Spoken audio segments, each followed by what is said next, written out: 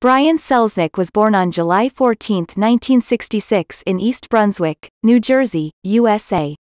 He is a writer and actor, known for Hugo, 2011, Wonderstruck, 2017, and The Houdini Box.